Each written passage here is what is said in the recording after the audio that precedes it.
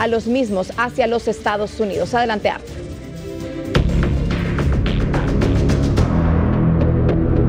Uno de los últimos boletines de prensa de la Embajada de los Estados Unidos de América especifica que tienen una nueva política sobre restricción de visas para operadores de transporte que facilitan la migración irregular a Estados Unidos. El Departamento de Estado implementa hoy una nueva política sobre restricción de visas conforme a un artículo de la Ley de Inmigración y Nacionalidad que tiene como objetivo a los propietarios, ejecutivos y altos funcionarios de compañías de vuelos charter y transporte terrestre y marítimo que brindan servicios de transporte destinados a ser usados principalmente por personas que tienen la intención de emigrar de manera irregular a Estados Unidos.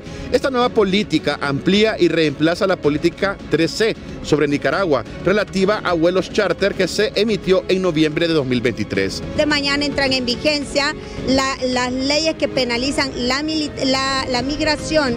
Y para el caso, el día de anoche, ya Dakota eh, pues ha sido completamente militarizada, igual eh, que Texas, que Florida, eh, que la zona también de Eagle Pass, todo lo que es el cordón fronterizo, porque el ingreso de los migrantes se asume que es hasta ahorita de unos 10.000 los que están llegando al territorio eh, estadounidense. El sector transporte inmediatamente reaccionó ante esta iniciativa del gobierno estadounidense. Lo miramos bien, ¿verdad? Eh, siempre y cuando las medidas sean para las personas que que están ilegalmente aprovechándose del inmigrante, ¿verdad? En el caso de los transportistas que están autorizados por el, por el gobierno que para transportar los inmigrantes yo creo que ellos más bien se alegran en, esas medidas que los Estados Unidos quieren implementar porque sí anda mucha gente, ¿verdad?, queriéndose aprovechar del, del, inmigrante, ¿verdad?, donde no tiene que ser así, ¿verdad?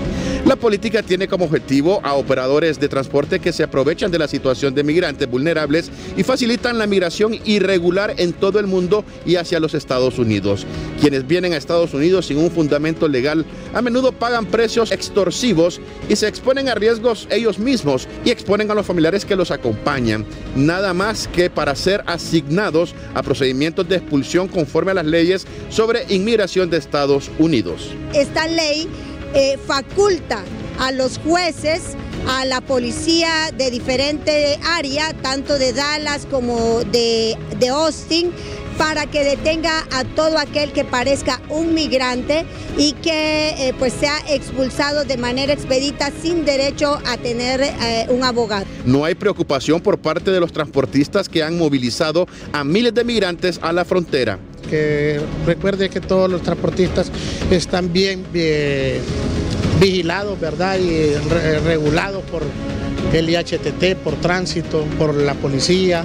Entonces, toda la información la tiene, todos estos tres sectores lo tienen bien informado de, cuáles son las personas de que están en, esta etapa, pero de las que andan transportando gente ilegalmente, si no la tienen, ¿verdad? Entonces, más bien se les pide que sean fuertes las medidas para este tipo de gente que quiere aprovechar del emigrante que tanto le cuesta pasar, ¿verdad? Y, que van a buscar otra oportunidad a otro lado porque en su país pues eh, la están pasando mal. Este año 2024 se contabilizan más de 20 mil migrantes que han utilizado Honduras como puente. Con imágenes de Alejandro Irías, edición de Aldo Acosta, Arnold Burgos, HCH Televisión Digital.